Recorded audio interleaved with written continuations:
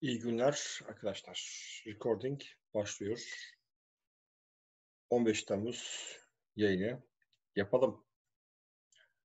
Yapmazsak ayıp olur.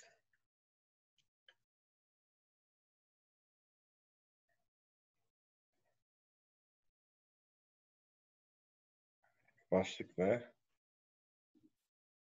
15 Temmuz'a İbn Arabi ne derdi?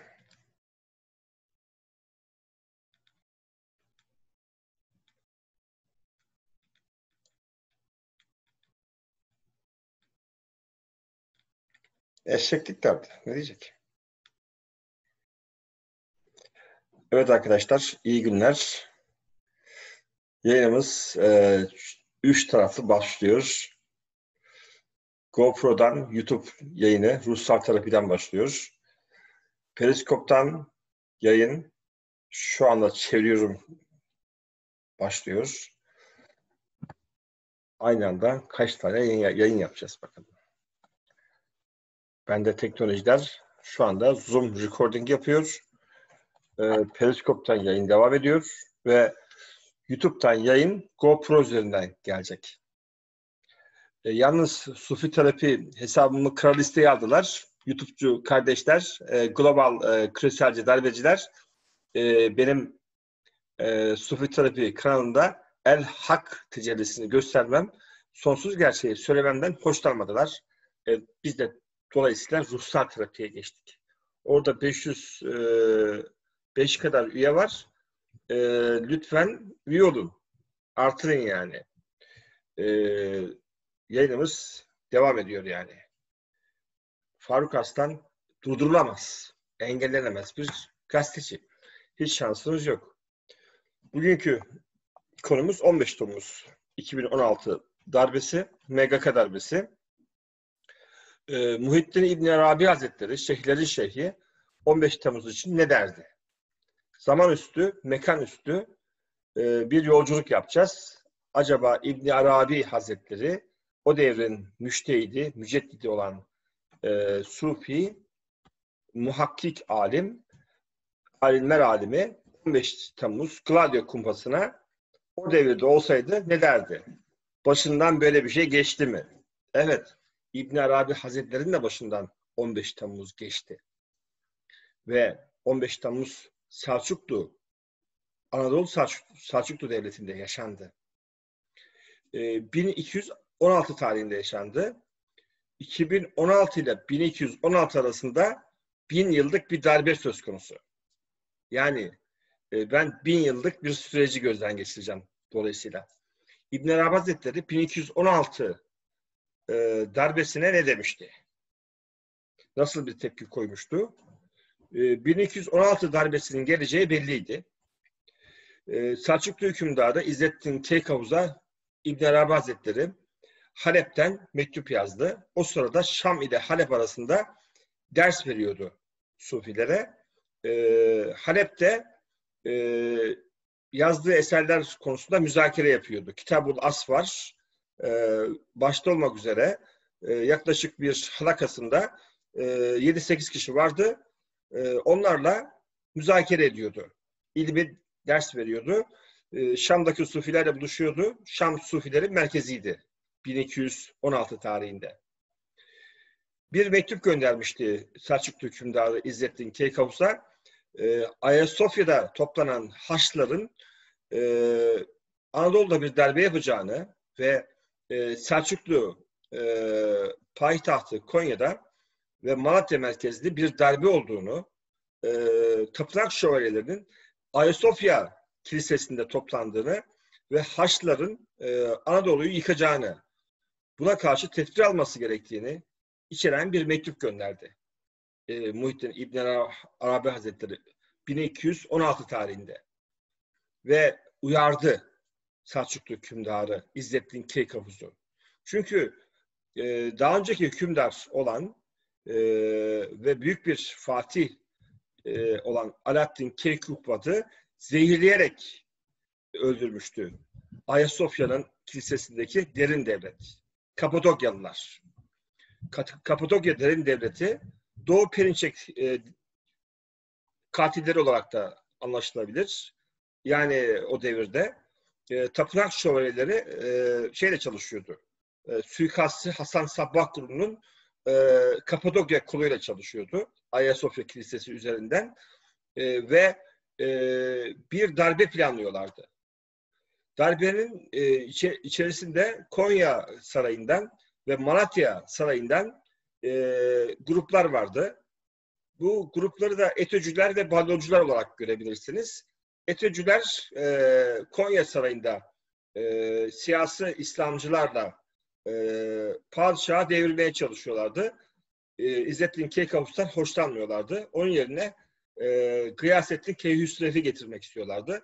Gıyasettin Key, Keyhüsrev ise Malatya'da valiydi.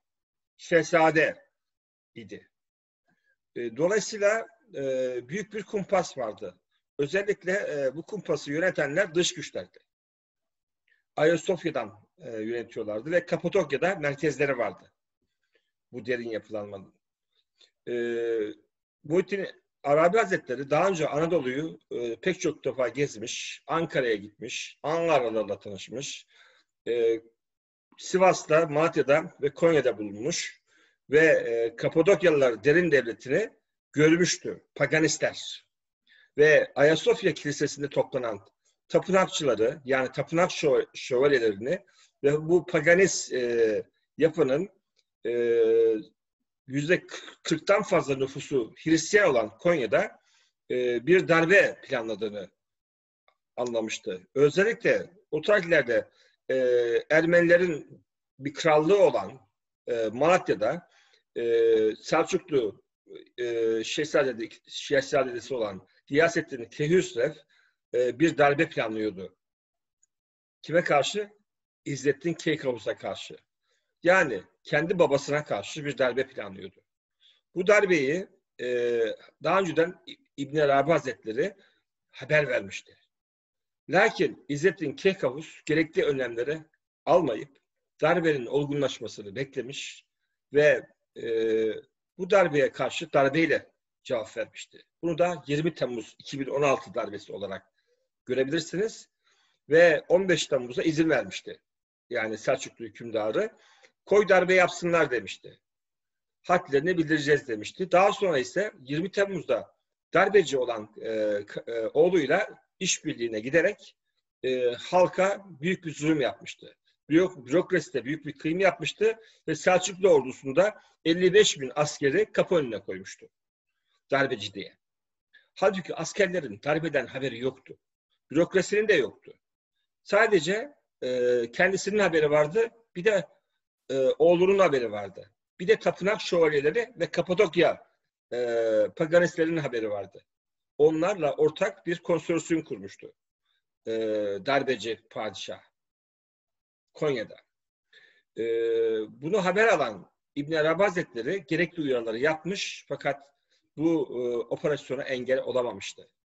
Ve en sevdiği e, kadı olan Mecuddin İshak Efendi'yi e, şehit vermişti. Çünkü darbeciler e, Malatya kadısı olan e, ve daha önce Konya'da kadılık yapmış, devletin saygın bir İslam alimi olan Mecuddin Efendi'yi darbenin bir numarası olarak göstermişti. Ve Malatya'dan e, Konya'ya getirmişti. Bu da Semih Terzi oluyor galiba. Semih e, getirmiş ve hemen idam etmişti. Öldürmüşlerdi, oklamışlardı ve e, ne olduğunu anlayamayan, anlayamayan Mecuddin Efendi oklanarak hainler tarafından e, sarayda öldürülmüştü. Ve e, şeytanlaştırmışlar, vatan haini ve darbeci, terörist ilan etmişlerdi. Mecuddin İshak Efendi'yi. Mecuddin İshak Efendi ise İbn Arabi Hazretleri'nin en yakın arkadaşıydı. 20 yıllık arkadaşlıkları vardı. Anadolu'da pek çok yere beraber gitmişlerdi.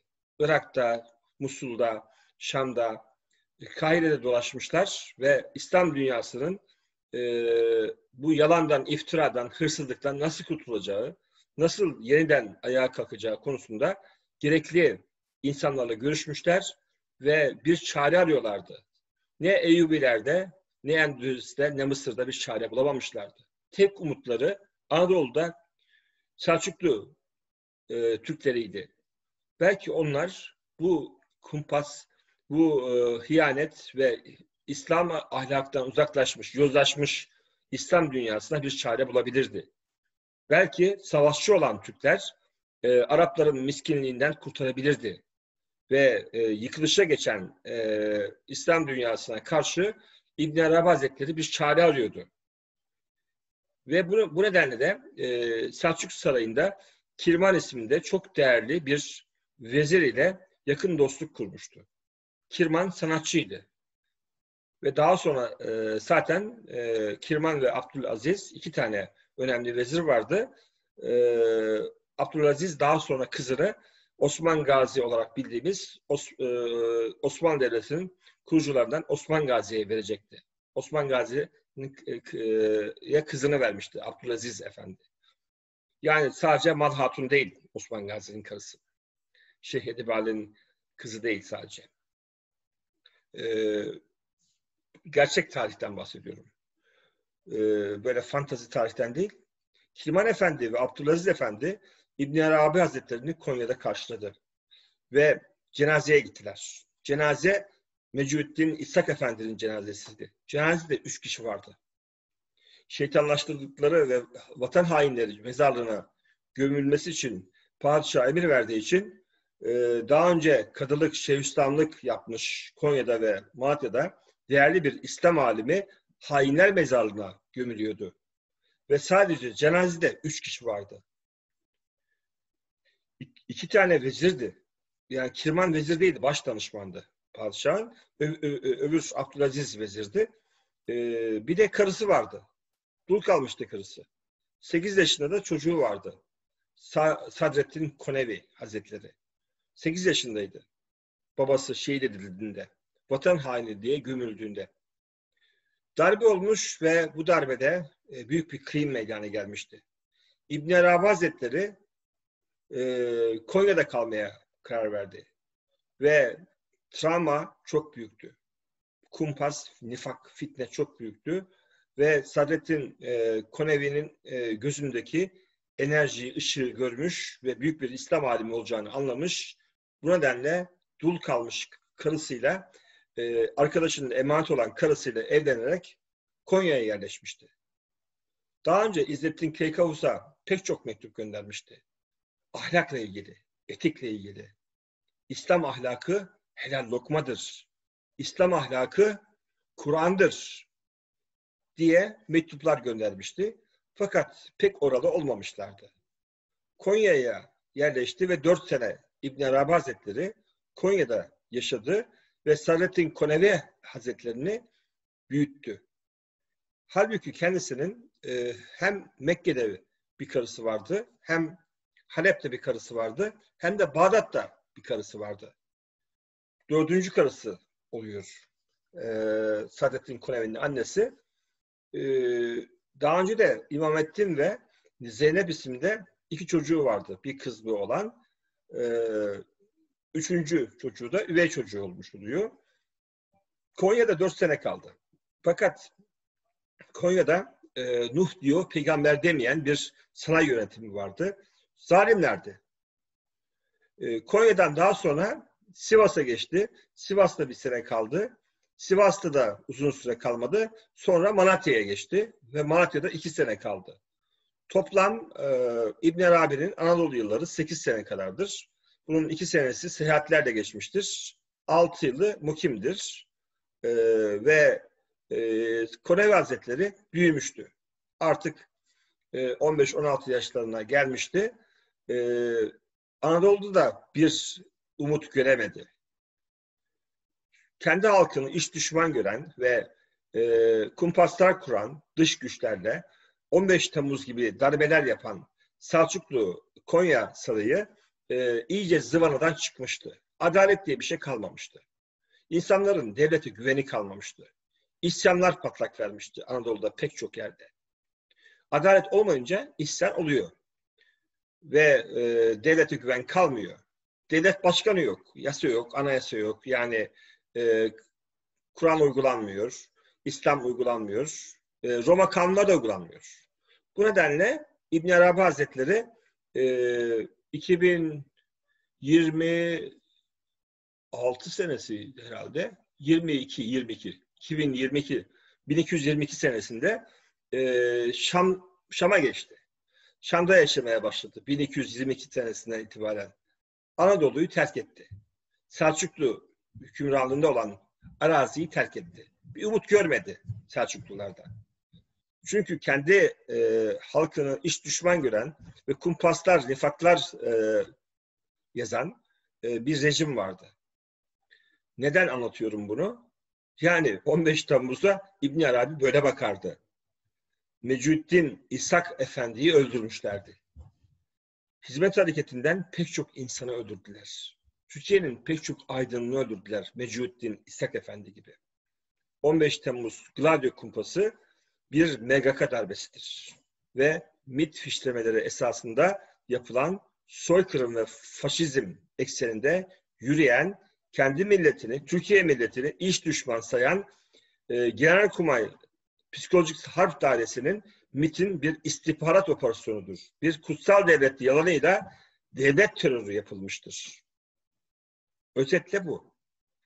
Kurulmuş büyük bir konsorsiyum var. Yerli ve global zındıka, masonlar üst aklıyla Erdoğan liderliğinde 15 Temmuz'da ortaya çıktı ve bir devlet projesi olarak soykırım ve faşizm yapıyor. Ee, Kemal Kılıçdaroğlu arkasında durduklarını ve 15 Temmuz'u bir e, demokrasi zaferi olarak kutlayacaklarını ilan etti. Sözcü gazetesi de bunu duyurdu bugün. E, biz de emin olduk ki CHP ve Sözcü grubu da 15 Temmuz darbesinin içinde. Bu şekilde anladık.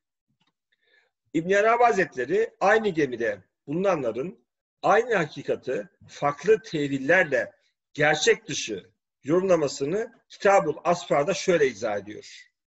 Gemiye saldıran bir gemi var. Herkes o geminin içinde, Türkiye gemisi. Ee, dış korsanlar var. Yani bu korsanlar dış güçler veya iç güçler korsanlık yapıyor.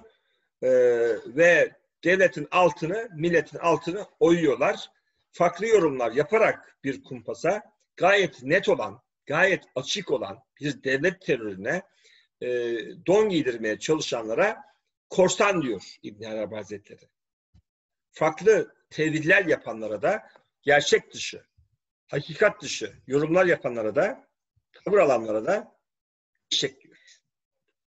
Çok kibar ifade, Kur'an'ı bir ifade kullanıyor. Yani üslubunu bozmuyor İbn Arabi Hazretleri ve eşek ve katır ifadesini, maymun ifadesini ve domuz ifadesini kullanıyor. Bir de yılan.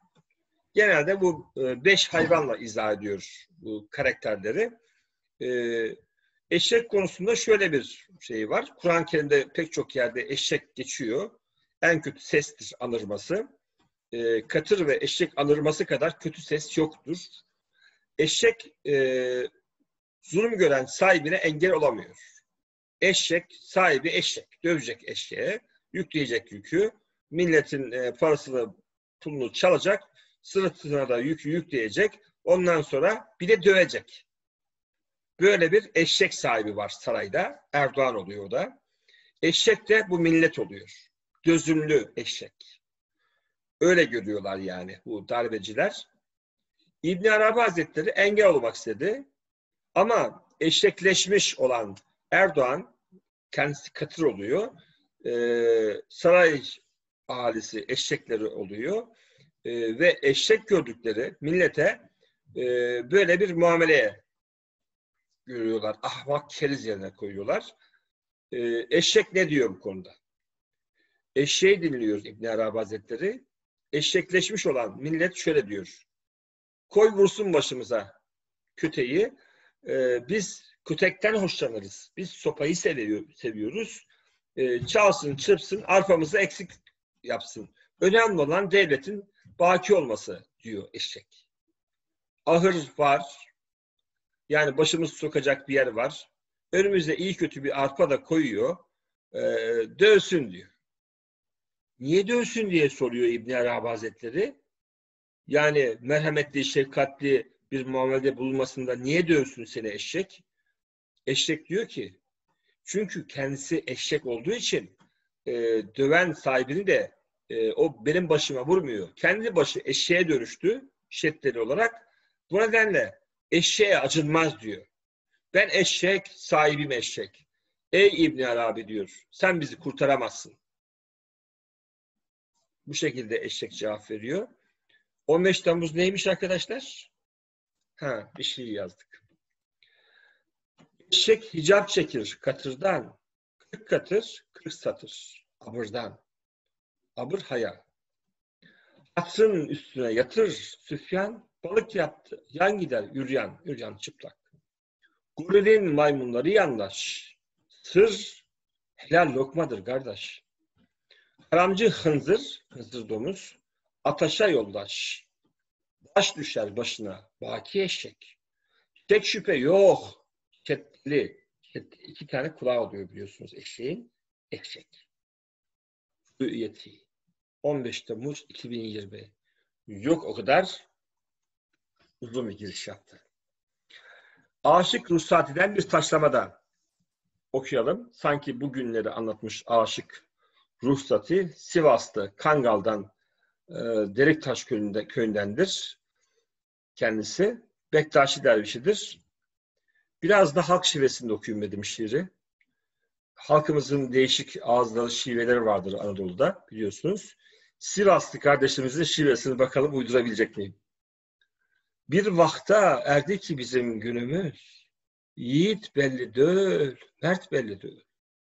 Değil ifadesini biraz döl gibi kullanırlar. Azerilere benzer, Erzurumlara benzer. Herkes yarasını, yarasına derman arıyor. Deva belli döl, dert belli döl. Fark eyledik, ahir vaktin bitti, bittiğin, merhamet çekilip göğe gittiğin, gücü yeten, soyar gücü yettiğin, papah belli döl, örf belli döl. Adalet kalmadı, almadı, zulüm doldu. Geçti şu baharın gülleri soldu. Dünyanın gidişi acayip oldu. Koyun belli değil, kurt belli değil. Başın ayık değil, kaderden yastan. Ah ettikçe duman çıkır festen.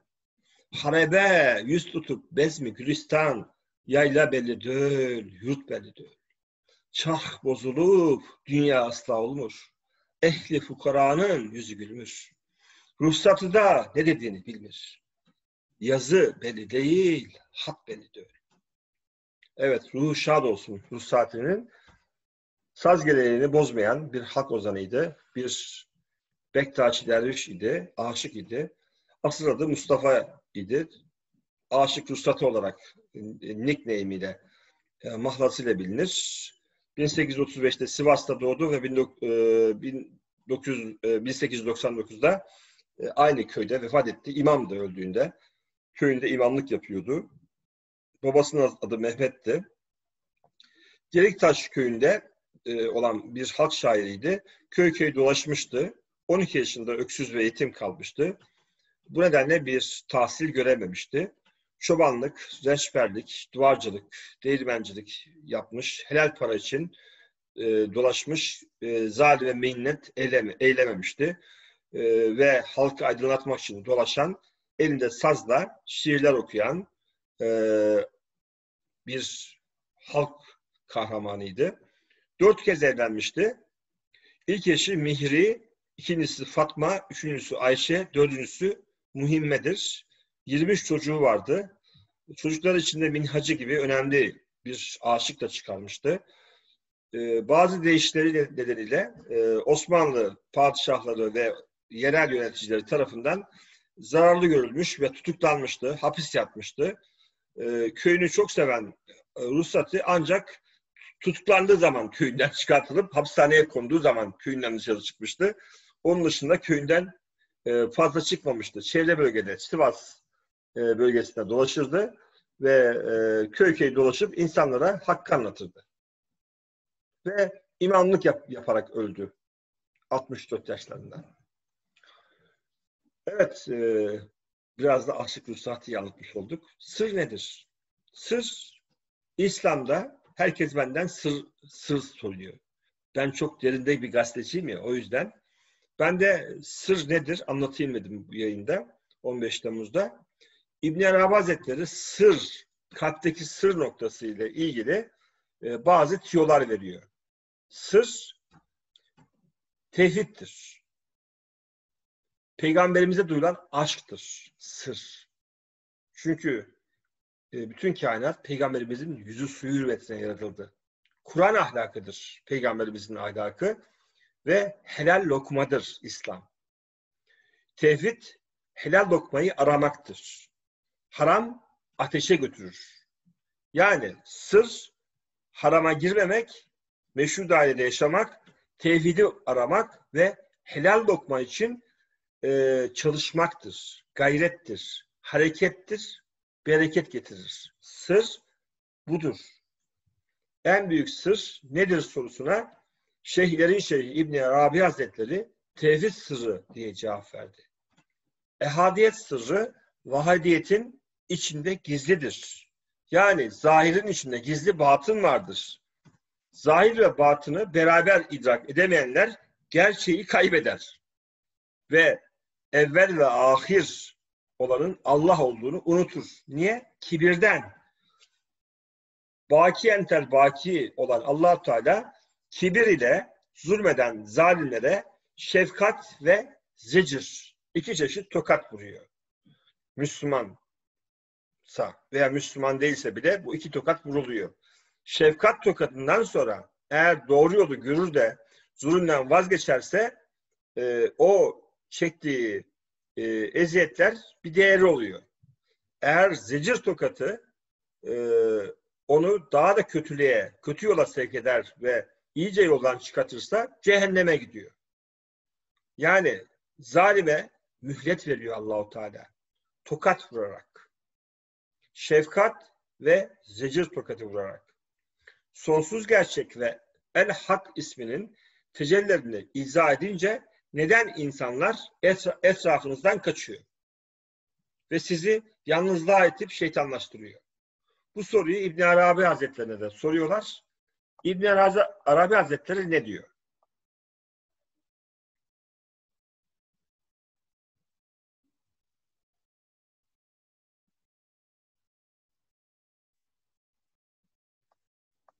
Yayın niye gelmedi benim Mursal terapide hala? Acaba hala ses geliyor galiba. Ses geliyor mu e, Seracan burada? Üç kişi bekliyor fakat yayın bir türlü e, gelmedi. Ben de bu nedenle zaten Zoom'da record yapıyorum. E, YouTube'a koyacağız. Yani bana engel koymaya çalışıyorlar. E, bu engelleri ben aşmasını bilirim. Yani öyle engel koymakla falan değil. Evet, sonsuz gerçek ve El Hak isimleri tecelli eder mutlaka. Ve allah Teala e, zaten e, El Hak ismini çok âli kılmıştır. Yani e, zat-ı ilahi meşhurdur, bilinmez. Onun altında El Hak ismi ve El Cami ismi vardır. İkisinin arasında da Allah ismi vardır. Allah ismi El Hak ile Cami isminin arasında yer alır. Bütün Esma-ı Hüsnaları kapsayan Allah ismi vardır. En başı Hak diyor Mehmet Akif. Hak Allah isminin de üstündedir. Zat-ı Ali ile Allah arasında bulunan bir isimdir. İbn Arabi'nin kitabından anlatıyorum size. Esma Hüsna'nın bir hiyerarşisi vardır Esma Hüsna'da. El Hak ismi Allah isminin de üstündedir. Zat-ı ilahiye direkt bakar, yüzü açıktır. Hem de diğer esma hüsnalara, Allah ismine ve diğer esmalara bakar. Dolayısıyla siz El Hak ismini, sonsuz gerçeği anlattığınız zaman insanlar sizi şeytanlaştırıyor. Yalnızlığa itiyor ve sizden kaçıyor. Niye? İbn Arabi diyor ki insani şeytan oldukları için diye cevap veriyor. Allah'a, kadere, meleklere, kitaplara, ahirete, gaybe imanları kalmadığı için sadece bu dünyadaki nimetlerle meşgul oldukları için ve yakın olan dünyayı ahirete tercih ettikleri için münafıklaşıyor, fasıklaşıyor. Yani e, zalimlere ortak oluyor. Neden zalimlere ortak oluyor? Zulme rıza gösteriyor. Çünkü ahiret çok uzak geliyor. Cennet, cehennem, hesap günü bunlar çok uzakta. Ben diyor bugün e, vuruyum malı dolduruyum. Zalim varmış. E, orada bir yer etmiş gözükelim. E, başımıza bir iş gelmesin. Bak hizmet hareketindeki insanlar e, zulme itiraz etti. Mert ve dik durdu. E, başlarına neler geldi. Değil mi? E, bu şekilde korkuyor. E, korkakların gireceği bir yer yoktur. Kork korkaklık e, mutlaka neler der? Travmaya yol açar. Korkaklar travmaya mutlaka uğrar. En büyük e, günah nedir sorusuna İbni Arabi Hazretleri kibirdir diye cevap veriyor. Şirk değil miydi diye üsteleyenlere zaten şirk kibirdir, kibir şirktir diye cevaplıyor. Yani kendisini çok beğenmiş, bencil, egoist, narsist, sarkastik insanlar, e, kibirli olanlar e, Allah'a şirk koşuyor. Açık veya gizli. Bu yüzden kibir önemli bir günahtır. Yani Allah'a ortak koşmakla eşdeğer görülür.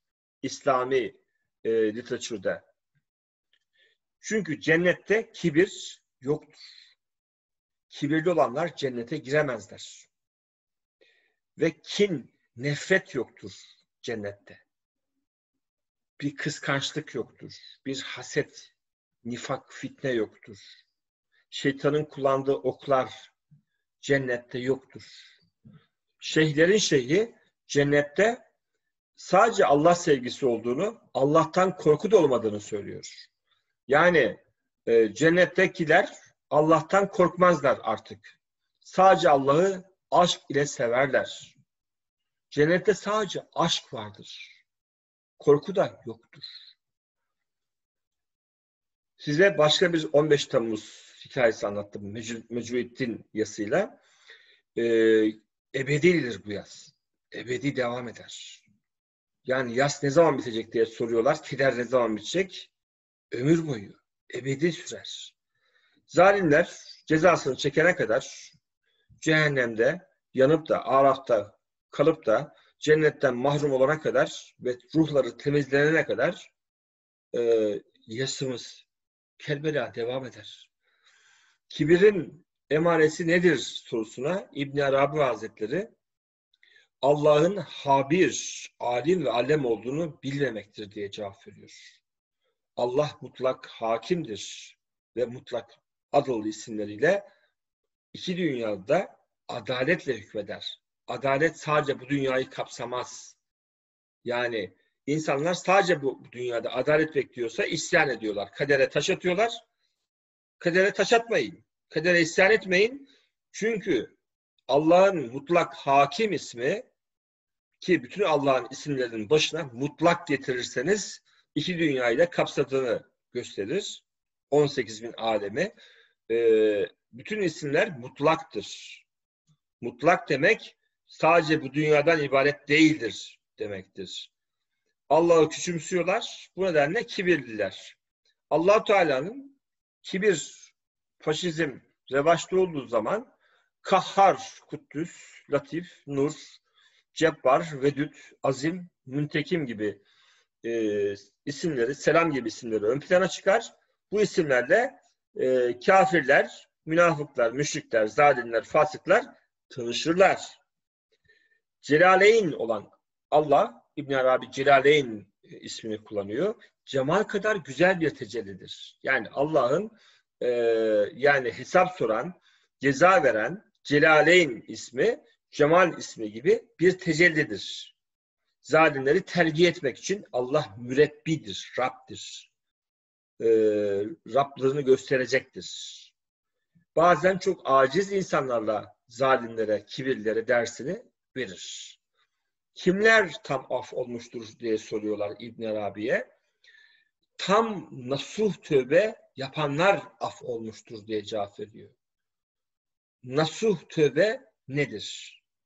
Tam af olmanın e, şartı var. Nasuh tövbe var. Nasuh tövbe bir daha o günahı işlememek için e, kesin kesin kesin bir şekilde e, tövbe ve istiğfar etmektir. Yani aynı günahı tekrar işlememek için cehennemden e, kaçar gibi kaçmaktır. Bir daha aynı günaha girmeyeceğine dair iyi niyet göstermeyenler ve salih amelde bunu ortaya koyup ispatlamayanlar hiçbir zaman tövbe ve istiğfar etmiş sayılmazlar. Kimse onlara inanmaz. Allah da inanmaz. Niye inansın? Aldatıyor. Akılda şeytanlık var. 40 tane tilki dolaşıyor. Ee, sizi kandırmaya çalışıyor. Ne olur beni affet, hakkını helal et diyor. Fakat nasıl bir e, şeytanlık yaptığını söylemiyor ve e, zararları de, telafi etmiyor. Sen, e, ben diyor sırtımdan atayım bu yükü. Çok şeytanlık yaptık. Çok harama girdik. E, ama kesinlikle mağdur ettiği insanlara hakkını vermiyor. Helallik istiyor ama hakkını vermiyor. Zarar vermeye devam ediyor. Kötü niyeti devam ediyor. Nasıl tövbe yok. Müslüman bir defa kafir ve münafıktan özür dilemez. Bu bir kaidedir. Nasuh tövbe yapmadan bu dünyada ve ahirette kimse tam af beklemesin diyor İbn Arabi. Tam af edilmezse ne olur? Bu soruyu soruyorlar. Ne olacak diyor adam. Affetmez, affetmesin. Ben bu dünyayı kurtardım diyor. Kendi zevairimi kurtardım. Başına ne gelirse gelsin diyor. Umurumda değil diyor. Ee, diyor şey yaparız. Af dileriz. Bunlar zaten affeder bizi. Merhametli, şefkatli insanlar filan. Göstermedik. Sözde yarım tövbe olmaz. Verdiği zararları telafi edip yeniden aşk dairesine girmesi gerekir. Bu dünyadayken. Ölmeden önce. Niyeti kötü de kalırsa, kötüye ram olursa, zulme ortak olursa, destek vermeye devam ederse bütün geçmiş sevapları silinir. Süfyan'dan önce yapmış olduğu bütün sevaplar zero olur. Sıfırlar yani. İbni Arabi Hazretleri ebedi ruhlarının e, günah işleyip te, te, terbiye sürecine girmesi için Allah'ın tecelli ettiğini söylüyor. Zalim Allah'ın tecellisidir. Neden Süfyan musallat diye soruyorlar. Çünkü Allah sizi temizlemek istiyor. Bu dünyadayken günahlarınızı arındırmak, tertemiz bir şekilde ruhlarınızı temizlemek için Süfyan ve Deccal gibi bazı kılıçları musallat ediyor. Sizin e, gizli ve açık işlediğiniz günahlar temizlenmiş oluyor. Çünkü bazen insan farkında olmadan zulmediyor ve günah işliyor. Allah o sevdiği için bela ve musibet veriyor, cefa veriyor ve vefasını gösteriyor Allahu Teala. Kahır veriyor, lütfediyor aslında e, ve onu tertemiz bir şekilde yanına alıyor. Ruhlar temizlenene kadar cehennem ve araf arasında dolaşanlar var. Bu dünyada e, cennet vari bir hayat kurmak mümkün. Bu maddi ve manevi olabilir. Nasıl tövbe yapana kadar cenneti bu dünyada da kuramaz, öbür tarafta elde edemez.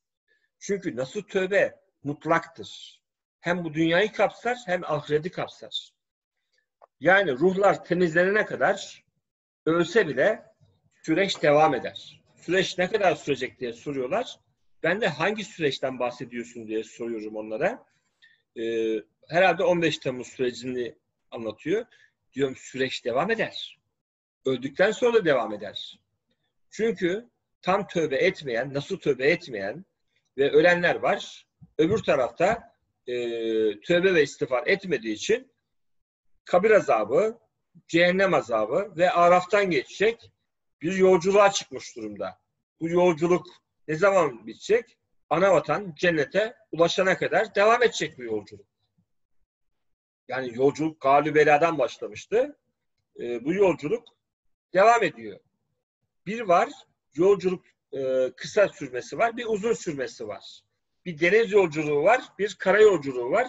Bir de deniz ve kara yolculuğunun beraber yapılması var. Üç çeşit yolculuk vardır diyor İbn Arabi. Bu Tabii manevi bir yolculuk. Sadece maddi bir yolculuk değil. En emin olan kara yolculuğudur diyor.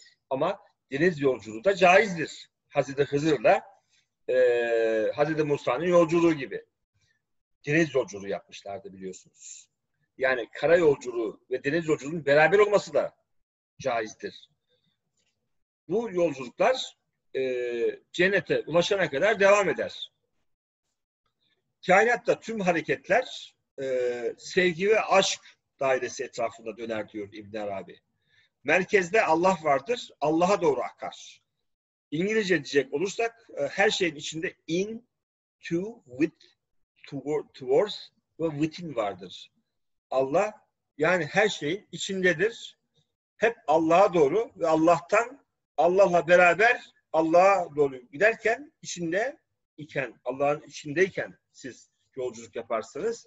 Yani Allahsız hiçbir şey yoktur. Her şey Allah'ın tecellisidir. Kin, nefret, kibir, haset, kıskançlık, ucup, riya ve zulme akan daireler kara deliktir. Ve yutarlar. Hani Stephen Hawking'in kara delik teorisi vardı ya, insanların ruhlarında kara delikler vardır.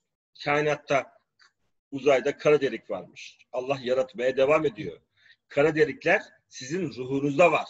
O kendi ruhundaki kara deliği görmüş. Yani bireysel olarak aynaya bakmış, kara delik görmüş ruhunda. Ondan sonra kainatta da vardır bu diye yok oluşu kara delikte bulmuş. Kara delikte yok oluş yok.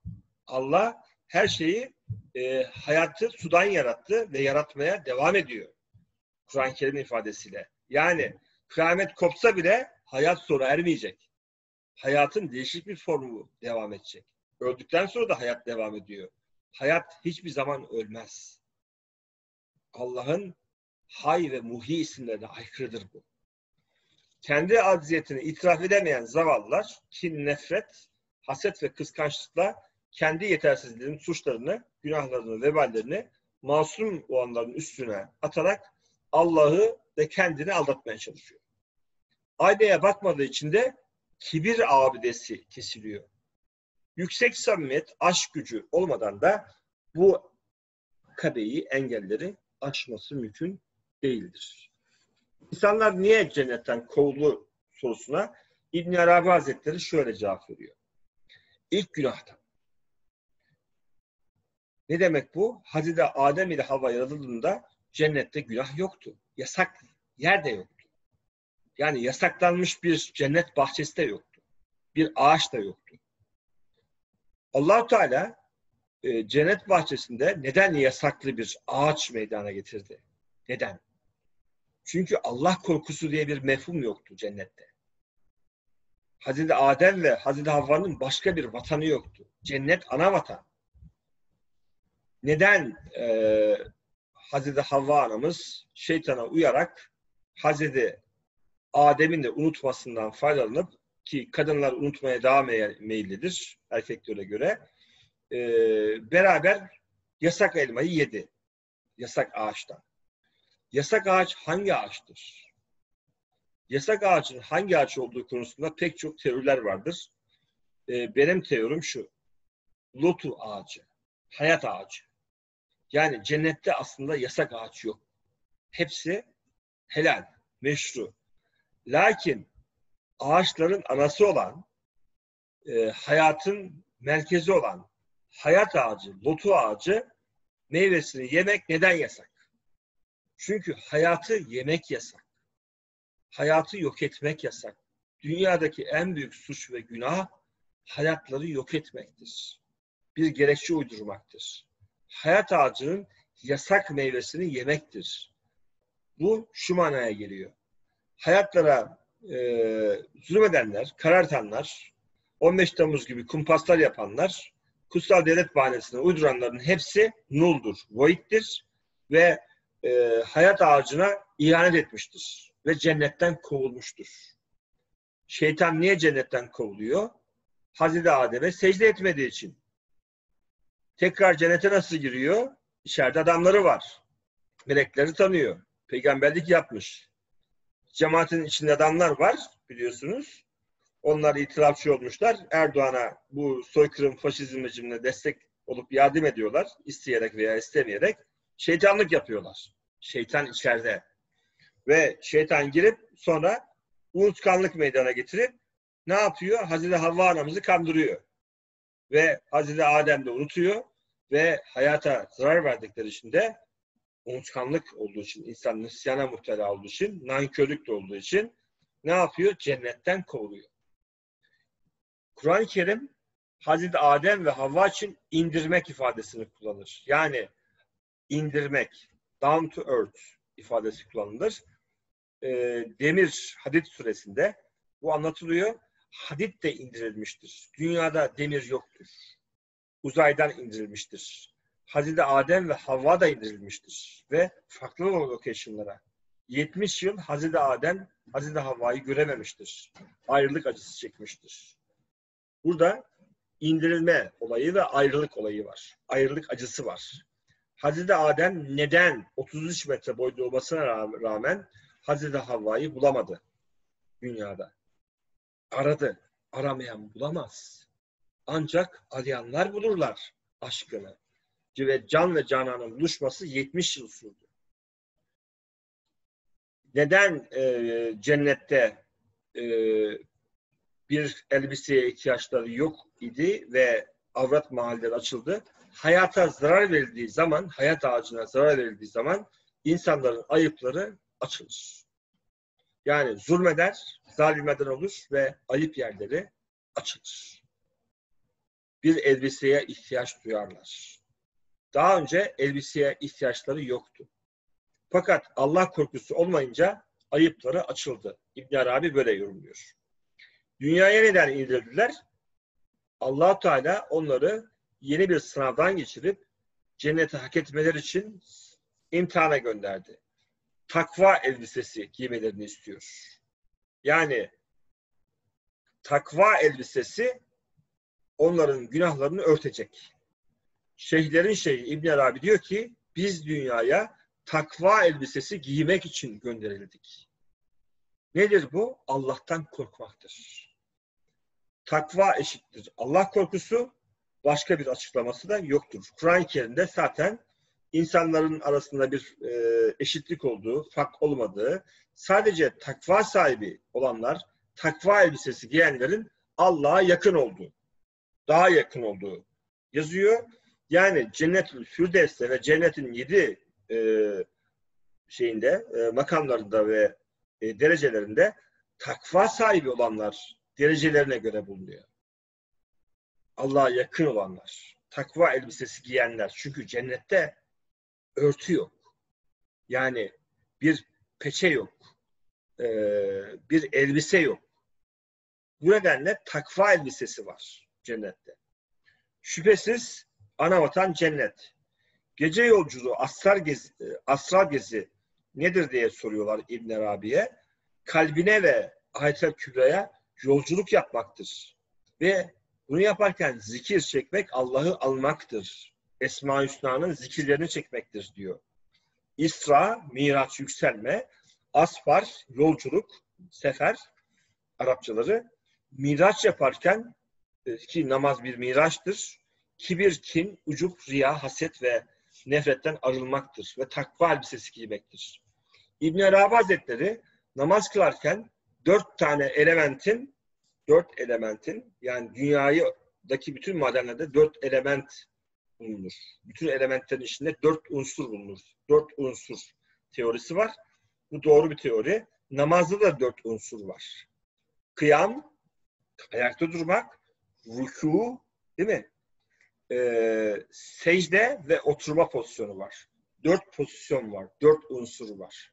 Bu dört unsur e, ateş, hava, toprak ve sudur. Toprak ve su yerdedir. Yani e, rükû ve kıyam nedir? Kıyam ateştir. Rükû e, havadır. E, burada toprak oturmaktır. Ve e, gördüğünüz gibi dört, namazdaki dört hususta e, kainattaki dört unsurla aynıdır, paraleldir. Katillik yapanlar genelde zalimlerden oluşur. Dünyayı ele geçirmek isteyen, e, devlet ele geçirmek isteyen, güç delisi olan, e, yani hiçbir zulümde sınır tanımayan, Allah'tan korkmayanlardır. Hizmet hareketindeki insanlar Allah'tan korktuğu için darbe yapmazlar. Ben hemen zaten e, dedim ki Allah'tan korkanlar darbe yapmazlar. E, böyle ah, ahmak, aptal projelere girmezler. Bu ahmak ve aptal projelere girenler ancak siyasi İslamcılar, FETÖ'cüler, Perinçekçiler gibi darbeciler olabilir diye e, hemen tespitimi yapmıştım. Ebedi ruhun çünkü kaderi aşktır ve zulümleri engelleyen sadece aşk dairesidir. Kainatta her şey aşkın etrafında dairesel olarak döner. E, nefretin, kinin, hasetin yani darbenin etrafına falan dönmüyor. 15 Temmuz Gladio kumpası bir megaka darbesidir. Ve daha önce kararları alınmış defalarca askeri vesayette, sivil vesayetin ortak kararlarıdır. Altında imzası olanlar 18 yıldır ülkeyi yöneten siyasilerdir. Genelkurmay heyetleridir. Hepsinin imzası var. Ve fişlemeleri yapanlar MIT'te belli isimlerdir, belli gruplardır. Hizmetten değil bunlar. Hepsi e, ETÖ'cü, balyocu, e, gladyocu ekipten. Vatan hainleri, ülkemizin düşmanları, nüfuz ajanları. Yani bunlar ancak ve ancak e, kin ve nefretle dolmuş, İslam'a ve Türkiye'deki insanlara düşman olduğu için iş düşman konseptleriyle psikolojik savaş yapmış ve bunlarla ilgili mega kadar genel kurmayda ve iktidarlarda kararlar almış bakanlar kurullarında e, imza atmış olan isimlerdir. Soykırım ve faşizm konusunda ısrarcı olan eksendir. Türkiye milletini iş düşman sayan psikolojik harp dairesi istihbarat operasyonudur 15 Temmuz. Kurulmuş büyük bir konsorsiyum var. Buna biz yerli ve global zındıkanın ittifakı diyoruz. E, ve bu ittifak e, elbette ki e, cehennemin dibine girecektir. Er veya geç. Mason üst, üst akıllarıyla Erdoğan işbirliğinde 15 Temmuz'u yaparak toplumu aldatmaya çalışan aldatmakla iş gören, şeytanla işbirliği yapanlar ruhunu şeytana sattığı için şeytanın gittiği yere giderler. Cehennemin dibi. İbn Arabi Hazretleri aynı gemide bunların aynı hakikati farklı tevillerle gerçek dışı yorumlamasına çok kızıyor. Çünkü korsan bunlar. Ancak hırsızlık yapmak için gemiye binmişlerdir. Hırsızlık yapmak için hizmete girenler, hırsızlık yapmak için devleti ele geçirenler, siyaset yapanlar, parti pırtı kuranlar korsan oluyor. İbn Arabi böyle bakıyor. Ve eşek olarak görüyor bunları. Ee, ve e, kötek deyip de hala akıllanmayan bu eşeklere e, diyor ki kendi başları eşek olduğu için herkese eşek zannediyorlar. Süfyanizm bir eşeklik rejimidir. Süfyan da katırdır bu nedenle. Kendi suçunu bir başkasına yüklemek kindir. İslamiyet'teki karşılığını söylüyorum. 15 Temmuz soykırım ve faşizm Zındıka Komitesi'nin asırlık intikam alma ve kinlerini kusma günüdür. Bedelini hizmet ve hedefe başta olmak üzere ülkemizin tüm aydın, dürüst, namuslu ve vatansever insanları ödüyorlar. Ve bu hainler herhangi bir dinleri, herhangi bir meslekleri, tarikatları yoktur. Etikleri, ahlakları olmadığı için bütün e, tarihi şahsiyetleri, tarihimizi, Sufi alimleri, İslam alimlerini istismar edip kullanmaya çalışırlar. Erdoğan'ın işte ben Ayasofya açtım diye Hüsnü Bayram'ı arayıp da e, onun yalakalık yapması gibi. Yani Nur cemaatini aldatıp da haram işlemeye ikna etmesi gibi. MIT eliyle e, e, üstadın öyle evinde Barla'da e, Nur gruplarına hizmetin mallarını, mülklerini, okullarını dağıtması gibi. Ve buna hiçbirinin itiraz etmemesi gibi zulme ortak olan zalime, süfyana, şeytana biat edenlerin öbür tarafta çekeceği var. Hesap vermeleri mümkün değil kendi kendileri nasıl aldatıyorlar? Şimdi ona geleceğim. Bu Arif Oturay'ı darbeci AKP ve MHP ile darbe ortakları ETÖ Perinçekçiler ödemek istemiyorlar. Suçlarını niye günah keçisi yapıp hizmetin üstüne atıyorlar? Çünkü halk ne bekliyor? Suçlunun ortaya çıkmasını ve hesap vermesini istiyor. Bu kadar travma var. Kim yaptı bunları? FETÖ diyenlerin tümü faşizmin acılarını ödemek istemeyen kin ehli bariz suçlulardır. Ve kim oldukları da bellidir. Hep bir ağızdan FETÖ diyerek bağırmaları, böğürmeleri bir şeyi değiştirmiyor. Halk katilini biliyor. Kendisine işkence yapanı, soygunculuk yapanı, devleti istismar ederek, sömürerek millete zulmedenleri biliyor. Bugün korkabilir, sinebilir. Ama ertesi gün tekrar bunlar patlayacaktır. Yani e, güç kendilerindeyken kendilerini kibir ile güçlü zannedenler daha sonra hesap verir.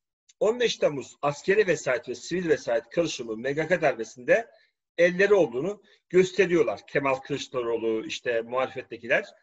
Bir ucundan tutmuşlar şeytanın şahsı manevesini ve e, kendilerine e, hakları kazandırmaya çalışıyorlar.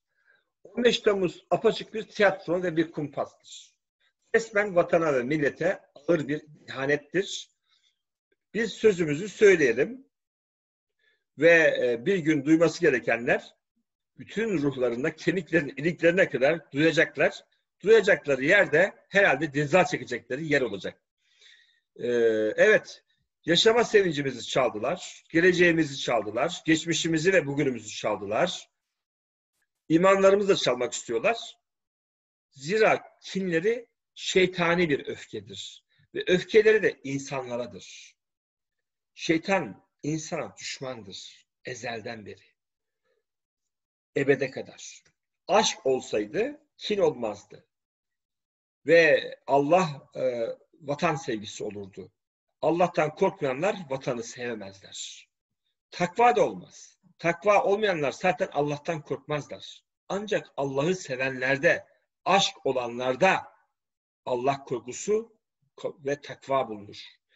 Kindar oldukları için, takva zerre miktar bulunmadığı için e, atalarımız Allah'tan korkmayandan kork demişler. Zira haramlarla ruhları, kalpleri ve bedenleri tamamen şeytanlaştığı için bütün hücrelerinde haram dolaştığı için kanlarında e, duaları kabul olmaz. allah Teala mühlet verir. Allah kalpleri ebedi mühür vurup da isimlerini kitabı seçtiğine ebedi yalancılar olarak yazana kadar ki öyle bir kitap var.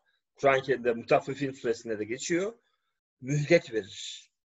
Fakat kendilerini düzeltmezlerse, tövbe ve istiğfar etmezlerse cehennemde ateş ve soğuk onları bekliyor. Dokunması farzdır. Allah Kur'an-ı Kerim'de net olarak armıştır defalarca. Yusuf'un gömleğini arkadan yırtan herkes görüyor. Mendakka dukka diye bir şey var. Eden bulur. Karma kuralı.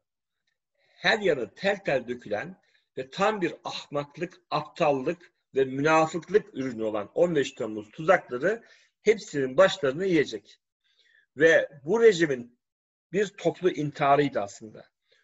15 Temmuz 2016 aslında ta işte 1226 1216'dan e, başlayan Selçuklu Sarayı'nda başlayan e, Giyasettin Keyhüsrev'le başlayan darbenin 15, daha sonra Mithat Paşa tarafından 1876'da ikinci Abdülaziz darbesiyle bir kıvam, e, zirveye çıkmıştı. Bir Osmanlı padişahını öldürmüştü. ETÖ'cülerin dedesi Mithat Paşa. E, ikinci Abdülhamit'i kullanırız diye getirmişlerdi. Aynı Erdoğan gibi düşünmüşlerdi. E, ticareti seviyor, parayı seviyor, kullanırız diye getirmişlerdi. Fakat e, evdeki hesap çarşıya uymadı derler. E, ikinci Abdülhamit 33 sene bir istibdat rejimi kurdu. Erdoğan da inşallah e, 33 sene devam etmez. 18 yılı geçtik. Süfyanizm rejimi Mithat Paşa ile başlar. Yani e, Mason Bektaşilerle başlar. 1826'da e, Mason e, Bektaşi tarikatını ve Yeniçeri Ocağı'nı kaldıran 2. Mahmut sonrası Masonlar Bektaşi tarikatı içine girip Mason Bektaşiliği kurmuştur. 30 yıllık bir yeraltı faaliyetlerinde Fransa ile işbirliği yapmışlardır. Ve daha sonra e, 1856 yılında Abdülaziz döneminde dönmüşlerdir. E, fakat e, 20 yıllık bir darbe hazırlık süreçleri vardır. 1876 darbesiyle de e, kanun esası uydurup e, kendi sistemlerini kurmuşlardır ve Mithat Paşa ne olmuştu? İkinci Abdülhamit onu önce Malta'ya sürgün etti, hayatını bağışladı. Sonra dedesini Mithat Paşa'nın öldürdüğünü öğrenince onu Kıbrıs'a e, yok Taif'e gönderdi. Taif'te boğdurdu Mithat Paşa. Yani ETÖ'cülerin şeyi, dedesi oluyor. Ee, herhalde Erdoğan da aynı şeyi yapar diye tahmin ediyorum. Cenazeleri e, çünkü Erdoğan'ın dedesini de öldürmüşler. Cenazeleri son durak cehennemde biter. CEO e, Zebani Malik cehennemde. Yani inna lillah ve inna ileyhi raciun. Hepimiz Allah'tan geldik ve Allah'a döneceğiz. GoPro yayını bitti herhalde. Arkadaşlar bir saatlik yayın sona erdi. Bizim e, YouTube yayını herhalde başlayamadı. E, arkadaşlar YouTube yayınında e, bana sansür uyguluyorlar. Durum bu maalesef. Biz de başka usullerde yine YouTube'a koymaya çalışıyoruz. YouTube babamızın malı değil. Maalesef öyle, öyle bir teknolojimiz yok. Yine global küreselci darbecilerin e, şirketlerini kullanarak yayın yapmaya çalışıyoruz. Millet nerede? Yani millet nerede? Millet korktu, şimdi herkes bir köşeye kaçtı. Kimse yok. Yani e, biz elimizden geleni yapmaya çalıştık. Ben dilimden geldiği kadar, ilmimden geldiği kadar ilmimin zekatını vermeye çalıştım. Vermeye çalışıyorum. Ee, ve hiç zerre miktar korktuğum, sindiğim falan olmadı. Hayatımda olmadı benim bu zalimlerden korktuğum. Kimler ne söyledim? Biraz baktım. Alet Natalia Avazyan ömrümde sadece bir kez çok kötü tiyatro izledim diyor. Adı da 15 Temmuz. Tiyatro olduğu konusunda herkes hemfikir. İbrahim Yastıkaya bir e, asker mağdur. Turgeneral Semih Terzi emredilmiş ve Ankara'ya gelmiş ve görev başında Ömer Haris Demir tarafından katledilmiştir. Katil bellidir, vefat eden bellidir. 15 Temmuz'un özeti. Hani kontrollü ildi diye Kemal Kılıçdaroğlu'na sormuş. Dizi film spoilerleri mi verdi de fikrini değiştirdin? Kemal Kılıçdaroğlu çark etmiş. 15 Temmuz 2016'da demokrasiye ve millete kasteden hain terör örgütünü lanetliyorum demiş. E, kimmiş bu hain terör, e, terör örgütü? Erdoğan ve MHP diyeceğine, kontrollü bir şekilde MİT Hulusi Akar darbe yaptı diyeceğine, Kemal Kılıçdaroğlu korkmuş, sinmiş, demokrasi uğruna can veren 251 şeydi asla unutmayacağımız, unutmayacağız demiş. FETÖ'nün bu devletin kılcal damalarına kadar girmesine göz yummayacağız demiş. Yani yine topu FETÖ yapmış. Bu kadar korkak, e, bu kadar çapsız bir ana muhalefet lideri herhalde Türkiye tarihine pek gelmedi. Erdoğan e, hırsızı, katili e, arkasında toplanmışlar ve bizi aldatmaya çalışıyorlar. Kontrol darbe gitti. Yani e, kontrol darbenin işini de açamadı. Dört sene geçti.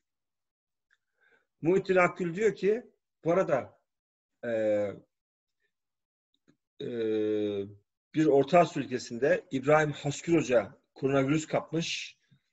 Double Brain e, bir abimizdir. Profesör, anayasa profesörü. E, kendisi rektörlükler yapmış. Hem Bakü'de hem Aşkabat'ta. Önemli bir ilim adamı. E, ülkemiz için de bir anayasa yazmıştı aslında. E, fakat Erdoğan bunları çöpe kaldırdı. Anayasa falan istemiyor. Ee, aynı zamanda Salim Bey ve bir arkadaşımız daha önemli bir arkadaşımız daha koronavirüse yakalanmış. Allah'tan şifa dileyelim inşallah. Bu abilerimize değerli insanlar. Üçünü de tanıyorum. Muhittin Akgül İbrahim Haskrocu ile beraber kaldık Bakü'de. Aynı evde. Nereden tanıyorsunuz diye soracak olursanız ben bekarken, gazeteciyken çok iyi tanırım yani. aklı başında e, AKP milletvekili de yaptı diyebiliyorum İzmir'den. Aklı başında hiçbir siyasi, vatanı ve milletini seven hiçbir kişi 15 Temmuz etkinliklerine katılmamalıdır. Keşke siyasiler bu feraseti önceden gösterebilselerdi ama gösteremiyorlar ve iktidara e, yani alan sunuyorlar. Ömer Faruk Gergerlioğlu 15 Temmuz darbe girişimini duyduğu ilk andan itibaren lanetleyen birisi olarak devam eden darbe sürecinde deşifre etmek yıllardır boynumuzun borcu oldu. Her yere darbe yaptılar. Babalara, annelere, çocuklara, neslimize, belediyelere, milletvekillerine, hayatın her hücresine, devletin kılcal damalarına kadar darbe yaptılar. Erdoğan, MHP, MİT, Hulusi Perinçek, ETÖ, devletin, milletin düşmanları. Hırsızlar. Sözcü gazetesi 15 Temmuz'a demokrasi zaferi demiş. Sait Sefa tepki göstermiş. Sözcü gazetesinin çark etmesi ve biat etmesi herhalde söz konusu olmuş. Yılmaz Özdül ne diyecek bu konuda bilmiyorum da e, Müjdat Gezen e, yani Metin Akpınar'a kadar gözaltına aldılar. Davalar açtılar Emin Çolaşan'a bir sürü. Kim e, darbeye karşı çıkarsa, kim eleştiri yaparsa başına bir iş geliyor. Ee, acaba Sözcü Gazetesi kimin sözcüsü diye Said Sefa sormuş. 15 Temmuz'dan sonra güç zehirlenmesi yaşayınca aynı oluktan su içtiklerini saklayamaz oldular. Sözcü Avrasyalıcıların kalesidir. Yani kimin? Berecekçilerin. Muhalif görünerek rejime katkı sağlar, muhaliflerin gazını alır, kutuplaşmayı derinleştirir, Erdoğan'ın kitlesini kemikleştirir. Sözcü gazetesi ne işe yarıyormuş? Erdoğan'ı iktidarda tutmaya yarıyormuş. A Haber'e inananları cahillikle suçlayan bir kitle yıllardır körü körüne sözcüye inanır. Bunların hepsini tüm şeffaflığıyla deşifre etmeden bu halk daha çok kandırılır. Bunların ne olduğunu gayet iyi bilen medya mensupları da susar ki kimse onlara onları FETÖ'cü ilan etmesin. Durum bu. Bu kadar korkak bir gazeteci kitlesi var Türkiye'de. Görüyorsunuz Cüneyt Özdemir e, gibi yani gazetecilik yaptığını iddia eden Murat Yetkin gibi yıllardır Ankara'da bulunan e, gazeteciler hala aynı treneden çalıyor. Ben gazetecilerin neredeyse hepsini tanırım. Pek çok defa değişik occasion'larda beraber, beraber olmuşuz, haber takip etmişiz. Şimdi adamlar bizi gazeteci saymıyorlar. Çünkü bizim bileğimizi bükemediler.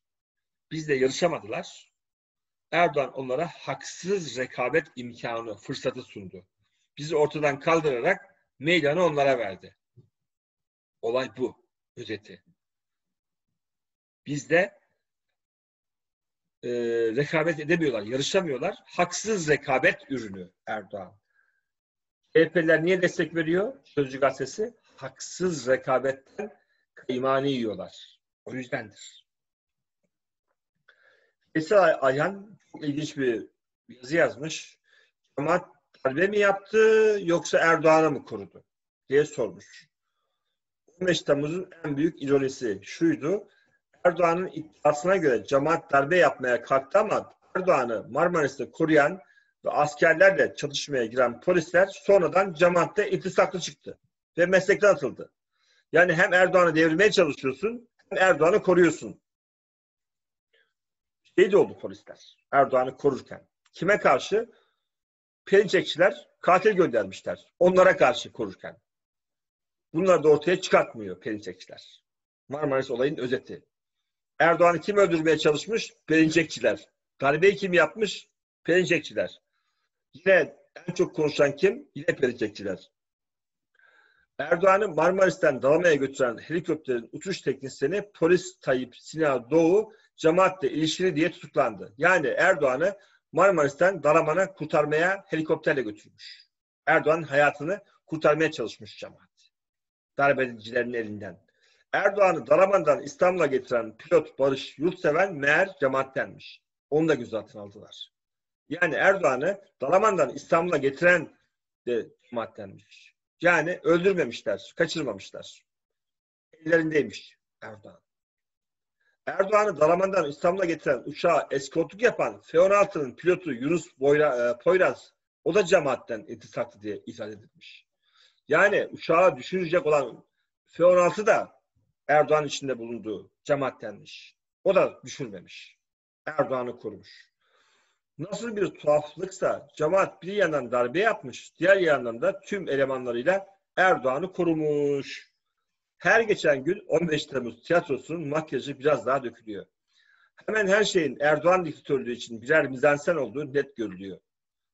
Adem Yavuz Arslan 15 Temmuz devlet terörü diyor ve doğru bir tespit. Bir darbe girişimi değil, e, devletin kendi halkının bir kısmına karşı uyguladığı terör faaliyettir. Ve sonuçta e, teröristler kazandı. Gülen hareketi tasfiye edildi. Şimdi e, hayrını görün. Ülke batmış ekonomi, e, tel tel dökülüyor, acından ölüyor insanlar, adalet yok, insanlar adalet arıyor. Askeri vesayet daha güçlü bir şekilde derin devletçi kadrolarla geri döndü. Artık polisler e, mafyalık yapıyor, uyuşturucu işi yapıyor, işkence yapıyor ve e, hiç kimsenin adaletten bir beklentisi kalmadı. Devletten bir beklentisi kalmadı. Devlet yok çünkü. Evet, 15 Temmuz neymiş? E, devleti mafyaya teslim etmekmiş. E, muhalefetin yardımıyla e, Anadolu'nun yetiştirdiği en iyi eğitimli dindar muhafazakar kitleyi imha etmekmiş, yok etmekmiş. Kur'an'a, İslam'a, e, Türkiye'de insanlara karşı açılmış bir savaşmış. Yani neymiş bu? MGK darbesiymiş. MGK. Ahmet Kurcan abi de e, Melek İpek ablanın e, anamızın başına gelenlerle ilgili, evinden çıkartılması ilgili bir yazı yazmış. Bülent Arınç'ı kınayan bir yazı yazmış aslında. Ee, insanlar soru soruyor. Yani ahirete inandıkları halde AKP'liler nasıl bu zulümleri yapabiliyorlar? Nasıl kendi kendilerini ikna ediyorlar? Cevabı basit demiş. Üç tane zümre var bu zulümleri yapanlardan. AKP'li beş vakit namazındaki adamlardan. Bir, Allah'a, ahirete, hesap gününe inanmıyorlar. İnanmadıkları için de bu zulümleri peynir, ekmek, yemek kolaylığı içinde yapıyorlar. Zaten hayatları haramla geçmiş. Ha bir tane eksik, ha bir tane fazla. Yani zaten zalim, fasık, münafık, ahirete zaten inanmıyor. İnansız, aynı pirinçekçiler, eteciler gibi, CHP'liler gibi çoğu, MHP'liler gibi. İçkisini içer, haramını yer, rüşvetini alır, avrat bazdır, eşini aldatır. Zaten hayatı bu. Öyle bir ahirette hesaba çekilecek diye bir beklenti yok. AKP'li aynı kafada. Öyle AKP'liler de var. Bayağı da fazla. Bu cümle. Yani hiç umurda değil. İki, Allah'a, ahirete, hesaba, mizana inanıyorlar ama haklı olduklarını düşünüyorlar. Yani devleti biz ele geçirdik, e, biz yiyeceğiz. Akarken kabımızı dolduracağız. Kime zulmederlerse etsinler. Bize de. Bizden değil ki. Bizim cemaatten değil zaten. Veya cemaatten olup da değiştirdiğimiz adamlar zaten AK Parti'ye entegre oldu. Artık cemaate dönemezler. Beraber yiyelim. Bu düşüncede olan AKP'liler dolayısıyla bizim zulmediğimiz davranışlara onlar adalet diyorlar. Hatta sevap bile kazandıklarına inanıyorlar. Ben buna şahidim. En başta kendi abim. Öz abim. Adam e, yalvar yakar kendi kızını hizmetimin okuluna benim referansımda yazdırdı ve hizmet okulunda okulda adam oldu.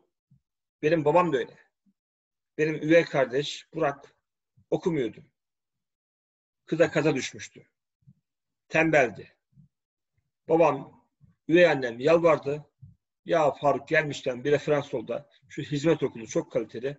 Oraya alsınlar. Notları düşük. Benim yeğen Büşra'nın da notları düşüktü. Büşra'nın da notları düşüktü. Ben referans olmasam resmen torpil yaptım yani. Hizmet okuluna aldılar ama şart koştular. Dediler bir sene içinde biz onlara özel program uygulayacağız. Bir sene içinde e, okulun diğer kaliteli öğrencilerine yetişmeleri lazım. Yani sıkı bir program uyguladılar. Hem rehberlik hem ders programı. Ekstra öğretmenler alın teri döktü. Ve bir sene içinde e, yakaladı Burak ve Büşra. E, çünkü emek verdiler hizmetteki arkadaşlar. Şimdi hem babam hem abim bana FETÖ'cü diyor. Ve konuşmuyor. Erdoğan'ın büyük başarısı. Müslümanı Müslümana kırdırmak, babayı oğula kırdırmak, abiyi kardeşe düşman etmek. Eğer bu bir başarıysa, bu nifak bir başarıysa, e, yani öbür tarafta hesap soracağız tabii. Bu adamlar aradan çıktıktan sonra bunların hepsi hacaret çekecekler, utanacaklar. Ben akrabalarım başta olmak üzere herkese iyilik yapmışım. Benim iyilik yapmadığım bir akrabam var mı? Bir menfaat çıkar elde etmeden. Kendi kardeşlerim dahil. Bir tane kötülüğümü gördünüz mü? Bir tane çıkar menfaat peşinde koştum? Şöyle gözlerin önüne alacaklar, şöyle düşünecekler. Faruk Arslan bize 40 sene yardım etti. 40 yıldır hiç usanmadı. Biz ona kötülük yaptık, o bize yardım etti. Biz ona şer attık, o bize yardım etti. Hep pozitif davrandı, hiç negatif davranmadı. Yani acaba biz eşek olabilir miyiz diye aynaya bir baksınlar, düşünsünler. Ondan sonra helalleşelim. Üç. Allah'a, ahirete, sırata, cehenneme inanıyorlar. Yaptıkları zulümlerin yanlış olduğunu, ahirette mutlaka bir ceza ile karşılaşacaklar, karşılaşacaklar, karşılaşacaklarını da kabulleniyorlar. Ama ihtimal cehennem ateşi sayılı birkaç gün dışında bize asla dokunmayacak diyen Bakara suresindeki 80. ayete e, bel bağlamışlar. Yani e, zaman ve zaman olarak e, cehennemde ne kadar yanacaklarını çok kısa sanıyorlar. Bu dünyadaki zaman dilimiyle ölçüyorlar. Sayılı birkaç gün diyorlar. Cehennemde yanacağız. Hepimiz zaten cehenneme gideceğiz. Benim diğer kardeş öyle. Fatih. Yani herkes günah işliyor. Ben de işliyorum. Allah'a inanıyoruz çok şükür. Yani Ramazan'da birkaç gün oruç tutuyoruz. Cuma'ya bazen gidiyoruz. Ee, yani diyorlar ki e, cehennem yakmaz Allah. Allah yakmaz. Merhametli, şefkatlidir. Benim bir ortağım vardı Mehmet. O da öyleydi. Allah baba yakmaz diyordu. Oğlum yakar diyordum. Ayet var. Ya yakmaz. Biraz da yanarız. Ne olsun yani. Sonra yakıp yakıp cennete gönderiyor Allah Teala zaten. Bu kadar rahat yani. Dolayısıyla şimdi yandaş medyada e, yazan bir köşe yazarı yaptığımız yanlış yazıyor. Ahirette Allah bizim kulağımızı çekecek ama devlet için bunu yapmak zorundayız. Bunu söyleyen de profesör yani. Londra'da doktora yapmış. Amerika'da doktora yapmış. Fahrettin Altun. Yani e, İbrahim Kalın. E, bu arkadaşlar çok iyi tanıdığım arkadaşlar. Kendilerini devletin e, şeytanı ilan etmişler. Daha önce devlete şeytan diyen, tağut diyen bu adamları çok iyi tanırım ben. Şimdi devlet kendilerinin olunca şeytan e, melek olmuş. Sonuç Beren Saat adlı tweet nedeniyle terörist ilan edilmiş. Ya Beren Saat ülkemizin yetiştirdiği en iyi sanatçılardan biri. Çok beğendiğim bir sanatçı gerçekten Beren, Sa Beren Saat. Onu da mı terörist ilan etmişler? Bir tweet atmış sadece. Süleyman Soylu 15 Temmuz bilançosunu açıklamış. 480, 282 bin gözaltı, 94 bin tutuklama. Yani çok büyük bir başarı gibi anlatıyorlar. Sevgi Akarçeşme e, şunu yazmış. 15 Temmuz Erdoğan ve ondan beslenenler için Allah'ın lütfu. Geri kalanlar, kalanlar için ise büyük bir felaket. Zaten kendisi de dayanamayıp ilk andan sevincini Allah'ın lütfu diyerek ifade etmişti. Tarihte böyle özetleyecek yani. E, dinsiz, ateist, pensekçi, etecilerin Erdoğan'a sunduğu Allah'ın lütfu. Bu Allah sunmuyor bu lütfu. Dinsiz, ateist, cehennem ehli sunuyor. Dolayısıyla beraber aynı yere gidiyorlar. Bay bay. 15 Temmuz'un gerçek şehitleri. Bir, Ferhat Günay. İsmini duydunuz mu? Halbiyeli. İki, Emre Demirbilek. Harbiyeli. Üç, Ragıp Enes Katran. Harbiyeli. Dört, Murat Tekin. Harbiyeli. Beş, Semih Terzi. Tuğgeneral. İlk defa bir Tuğ generali açık açık genel kurmayda öldüren bir rejim. Simge Tici bir asker arkadaş. Yazdığı tweetlerle çapulcu kız olarak biliniyor. Askeri okul öğrencilerini çocukları yormayın akşam işleri var diyerek köprüye yollayan Abidin Ünal Hollanda'ya kaçtı.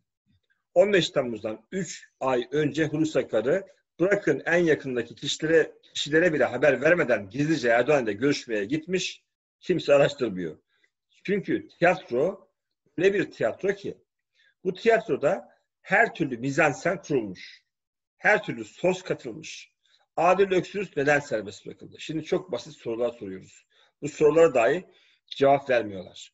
Milyon Ali, Bin Ali, Cin Ali neden en beğenmediğim proje 15 Temmuz dedi. Yani bir devlet projesi olduğunu zaten e, açıkladı. Dolayısıyla cemaate atmak e, büyük bir salaklık, eşeklik. Kusura bakmayın ama Kemal Kılıçdaroğlu'ndan tutun hepsi eşek. Üç, siyaset tutan yapmasınlar yani. 15 Temmuz akşamı henüz olmayan olayları savcı neden raporuna yazdı. Harun Kodalak. Adam da e, olmamış olayları raporuna yazan çünkü kendileri organize ettiği için olayları e, olmadan önce biliyor. Savcı müneccim mi oldu? Harun Kodalak. Çok net ortada yani. Adamların kendi mizanseni oldu. Tiyatrosu oldu. Dört. Meclis bombalandığında neden perdelere bir şey olmadı? Perde yakmayan bomba, dinamit icat etmişler. Bizim haberimiz yok. Böyle bir ahmaklık içindeler. Uçak da bombalamıyor, dinamit de patlatıyorlar e, meclisin bir köşesine. Sonra darbeciler bombaladı. Perdelere niye bir şey olmadı? Niye yanmadı? Yani bir sürü soru var. Cevap veren yok. Darbeyi asker yaptıysa neden hakim ve savcılar önce tutuklandı? 4800 tane. Yani hakim ve savcılar mı darbe yaptı? 70 bin öğrenci hapiste. 15 ile 22 yaş arası. Öğrenciler mi darbe yaptı? Bir sürü basit soru var böyle. 14 yaşlarında, 15 yaşlarında kızlar var. Yıllardır hapiste. 19 yaşında müebbet kesilen insanlar var. Cevaplayacak kimse yok. O kadar çok soru var ki sizlerin de vardır. Bu kadar soruyu Hulusi Akar, Hakan Fidan, e, Yaşar Güler tenezzül edip meclise gelip açıklamadı. Yani e, bu kadar da kibirli. E, açıklasa belki bir şeyler öğreneceğiz. Belki e, bir ipucu bulacağız. Gazeteci olarak yakalayacağız. E, birbirleriyle pişti olmasınlar diye, papaz olmasınlar diye, biraz çelişkiye düşmesinler diye bunların aptal olduğunu bu darbe yönetimi biliyor. O yüzden gelip de meclise sorulara cevap vermediler. Ne Yaşar Güler, ne Hulusi Akar, ne Hakan Fidan. Darbenin üç tane sorumluluk üst düzey geriledi. 650 sayfa rapor hazırlamış 15 Temmuz Araştırma Komisyonu. Aradan 4 yıl geçti. Hala kamuoyuyla paylaşılmadı. Neden? Çünkü bir sürü çelişki var. 15 Temmuz gecesi öldürülen 251 vatandaşın balistik raporları yok. Kamuoyuyla paylaşılmadı. Niye? Çünkü kurşunlar askerlerin silahlarından, harbiyelerin silahlarından çıkmamış. Erdoğan'ın dağıttığı silahlar. Yani Erdoğan'ın adamları öldürenler, katiller, Erdoğan'ın sadatçıları, Rusya'nın adamları, sniperları, Sadat, e, El-Kaide'nin adamları, El-Nusra'nın adamları, Hakan Fidan adamları. Hiçbiri Türk Silahlı Kuvvetleri envanterinde olan silah ve kurşun kullanmamış. Katiller hizmetten değil. Anladınız mı? Ha. Kafanıza sokana kadar ulaşacağız. 15 Temmuz buluşmalarına Zekai Aksakallı başta olmak üzere bazı komutanlar e, kendi kayıtlarını, telefon kayıtlarını e, getirmeyi reddetti. Adamlar çünkü Zekai Aksakallı 50 kişinin öldürülmesi için talimat veriyor. Tekst yazıyor arkadaş. Öldür, öldür, öldür. 50 tane. Şimdi Zekai Aksakallı e, böyle infaz emirleri veren adamı yargılamıyorsun. Semih Terzi'yi öldürmüş adam ya. 40 yıllık arkadaşını öldürmüş. Böyle bir e, gerizekalı durumda Zekai Aksakallı. Ee, ve bu arkadaş 3 ay önce 15 Temmuz'dan önce Özel Kuvvetler Komutanlığı'na bir grup teğmeni TürkSat'a keşif ve inceleme için göndermiş. Neden? Soruşturulmadı. Gönderdiği adamlar, teğmenler Perinçekçi. Terbiyeci yani. Darbeyi planlayanlar. Ee, bu şekilde organize olmuşlar darbeciler. Yani Perinçek'te Erdoğan kafa kafaya verip Hakan Fidan, Hulusi Akar Türk milletine kumpas kurmuş. Hizmet hayatı devam ettirmek için var. Öldürmek için değil. Fethullah Gülen Hoca Efendi zaten bir müştehit, müceddit olarak e, bir plan çerçevesinde Risale-i Nur'un kıyamet kopana kadar devam edecek bir şey var, programı var. Bir zaman Said Nursi iman aşamasıydı, iman hakikatleri. Hoca Efendi hayat aşaması, yani hayatı koruyan. Hoca Efendi bir sineğin bile hayatına son vermez. Hayattır, hayat. Hayatı koruyandır. Ne darbesi? yani bunu Hoca Efendi'yi tanıyan herkes biliyor. Bir de Hoca Efendi herkes görüşmüş, tanıyor. Cüneyt Özdemir de mükemmel bir insanla görüştüm diye havalara uçan bir adam.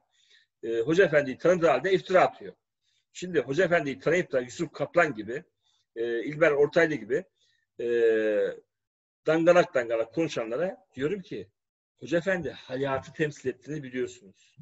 Hoca Efendi çok yüksek bir merhamete, şefkate sahip. Ne darbesi?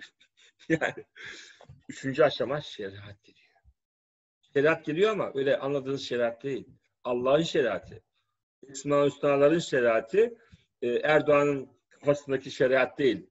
Gelen şeriat o AKP'lerin hepsini güzel güzel e, cezalandırır. Bu darbecilerin hepsine güzel cezalar keser. Çünkü şeriatte adalet vardır. Adaleti mahsa vardır. Mutlak adalet. Her bireyin hakkı önemlidir. Adaletin mahsada. Ne olmuş? Türkiye'nin dış borcu 431 milyar dolar olmuş. Kağıt kalem var mı? Dolar 7 mi oldu? Bunu 7 ile çarptığımız zaman ne yapıyor? 4 kere e, 7 21 mi yapıyor? Yani 2 e, trilyonu geçmiş Türkiye'nin borcu. Yaklaşık, yaklaşık 2,5 e, 2 trilyon 2.2 trilyon lira Türkiye'nin borcu olmuş. E, büyük bir rekor tabii. Bu kadar dış güç bir destan. 15 Temmuz bir dış borçlanma destanı. Ayağınıza pranga, kölelik, bağımsızlığınızı kaybetme. Tamamen e, 50 sene bu borcu ödeyemezsiniz herhalde. 50 yıl geleceğiniz satılmış. 15 Temmuz'un özeti bu. E, gaziler varmış 15 Temmuz'un. Saray önünde 15 ee, Temmuz anısına gitmek istemişler. Polis müdahale etmiş, kovmuş. Ee, yani böyle bir e, gaziler paramızı istiyoruz. Bizim için toplanan paralar nerede diye sormuşlar. 350 milyonu hükletti Erdoğan. E, hala anlamamışlar. Erdoğan onlara one night stand e, show verdi. E, Erdoğan aynı cariyeyi iki kez canı çekmiyorsa kullanmıyor. Sen cariyelik yapmışsın. E, Erdoğan uzun sürede e, cariye ilişkisinde oldu. Binali Yıldırım gibi adamlar var. Ama sen Binali Yıldırım değilsin. E, 251 tane e, gariban insan ölmüş, öldürmüşler kendileri. E, onlara da maaş vermişler 4 yıl. Gazi maaşı, şehit maaşı. E, paraları da hükmetmişler şimdi. E, seni kullanmışlar, kullanmışlar, atmışlar. Çöpe. E, siz tank durdurmuş adamlarsınız. Atletle filan. Polis barikatını çok rahat delip geçersiniz. Vurun kafasına polisin. Niyeyse copluyor, biber gazı sıkıyor polis. Siz köprü fethetmiş yani adamlarsınız. Fatihlersiniz. Erdoğan'ın polislerine karşı bakalım ne kadar gücünüz yetiyor. Buyurun, buradan yakın. Evet, Ankara Tabip Odası'nın toplama kampı olarak nitelediği Ankara TEM'in 15 Temmuz gözaltı merkezi olarak kullanıldığı spor salonunda dehşeti yaşayanlar artık birer birer konuşuyor. Cevher Güven bugün Erhan Doğan'ı e, şahit olarak anlatmış. Mete Albay kitap yazmış. Bu da çok enteresan bir ihraç yarbay. E, yani yarbay Aykut Coşkun. E, yani çok komik bir durum gerçekten bu adamın durumu. Ee, bu adam kurmay olmadığı halde 15 Temmuz'da Konya hava hareketin başına getirilmiş. Kurmay olmadığı halde. Ve Erdoğan'a dört kişi e, uçak gönderiyor. İkisini bu adam çıkartmış. Bu nedenle kahraman. 2017'de Erdoğan ödül de vermiş. Daha sonra ise FETÖ'cü diye ihraç etmişler. Yani kullanmış kullanmış madalya da vermiş. E, kurmay olmadığı halde 15 Temmuz'da Konya'daki en önemli üssün başına da getirmiş. Erdoğan tepe tepe kullanmış. o madalyasını almış. Ondan sonra FETÖ'cü diye ihraç. Maaşına el koymuşlar. Emekli maaşı da gitmiş. Sonra da kitap yazmış arkadaş. Mağdurum diye. Nasıl ama? Süper değil mi? 132. filo, Konya filosu 15 Temmuz'da aynı E- Eskişehir 1. Jet analizi gibi yani Bilgin Balanlı'nın kullandığı Hikmet e, denen şerefsiz Konyalı'nın kullandığı gibi önemli bir darbeyi bastırma üssü diye lanse ediliyordu. Demek ki neymiş? Bunlar Erdoğan'ın darbeci ortaklarıymış. Ve Erdoğan bunları kullanmış, çöpe atmış. Biz bu darbeyi bir ay sonra bekliyorduk demiş. Erdoğan bunlara sürpriz yapmış. Yani organizeyi beraber yapmışlar benim anladığım. E, Daha sonra Erdoğan bunlara yapmış. Daha önceye almış. Yani. Hulusi Akar tarihini değiştirmiş. Hakan filan. Hamakla alakası yok. Erdoğan'ın kırmızı çizgisi nedir? Erdoğan'ın kırmızı çizgisi 15 Temmuz'un gerçeklerin ortaya çıkmasıdır. Gerçekler ortaya çıktığı zaman büyük bir konsorsiyumda batacak toptan e, bütün ne kadar isim varsa hepsi yargılanacaklar. E, bu nedenle sürekli FETÖ diyerek üstünü örtmeye çalışıyor. Muhalefet niye yardım ediyor? Çünkü onların da bayağı bir adamı var bu konsorsiyumda. CHP'den, İYİ Parti'den, MHP'den. E, Hitler'in şeyine benziyor. Böyle soykırım, faşizm konsorsiyumu vardı Hitler'in. Son seçimde yüzde 85 oy almıştı Hitler. Daha Erdoğan Hitler'in gösterdiği başarıyı gösteremedi. Yüzde 85'i bulmuştu Hitler. Bu kadar büyük bir konsorsiyum e, toplamıştı. Gerçekten. Gerçi tahta yaptığı iddia ediliyor Hitler'in o son seçimi, 1939 seçimine. E, sonrasında zaten İkinci Dünya Savaşı'na soktu Hitler biliyorsunuz Almanya'yı. Bir daha hiçbir muhalefet konuşmasın diye. Seçime gerek yok. Bundan sonra Führer her şeyin kararını verir. Almanları ölüme götürmüştü. Hatırladınız mı? Ha, 1939. Şu anda 1939 senesindeyiz. Arkadaşlar bu kadar yayın yeter mi? 15 Temmuz'un özel yayını gibi oldu. Ne diyormuş İbn Arabi Hazretleri? Darbecilere eşek. Domuz, hınzır, maymun diyor. Katır. Köpek diyor. Bununla ilgili zaten Bediüzzaman Said Nursi Risale-i Nur'da e, bu ifadeleri kullanıyor. Yani rejimin faşistlerine Üstad onların gerçek hayvani şekillerinde olduğunu talebelerine yazdığı mektupta söylüyor. Bediüzzaman Said Nursi de söylüyor. Bu uslubunu bozmak değil. Kur'an-ı Kerim'de geçen hayvanlar bunlar. İnsanların karakterleri. İbn Arabi Hazretleri de kullanmış, Bediüzzaman Said Nursi de kullanmış. Ben de kullanıyorum. Bana niye kızıyorsunuz? Yani değil mi? Kur'an-ı Kerim'in kullandığını ben niye kullanmayayım? Kırmızı çizgiymiş. Kırmızı çizgi neymiş? Erdoğan'ın gerçeklerin ortaya çıkmasıymış. Gerçekler ortaya çıkarsa yüzleşmek zorundalar. Bunca insanla. Ve yüzleşmek istemiyorlar. Hmm. Bu durumda ne olmuştu? Selçuklu yıkılmıştı. Adalet olmadığı için Selçuklu yüzden yıkıldı zaten. Niye yıkılmış Selçuklu? 15 Temmuz yüzünden yıkılmış. Ne zaman? 1216 senesinde. Siz de 2016'da yıkıldınız. Buna toplu intihar deniyor. Rejimin, devletin toplu intiharı. Ee, ben de diyorum ki inna lillah ve inna ileyhi raciun. Cehenneme kadar yolunuz var. İyi günler arkadaşlar.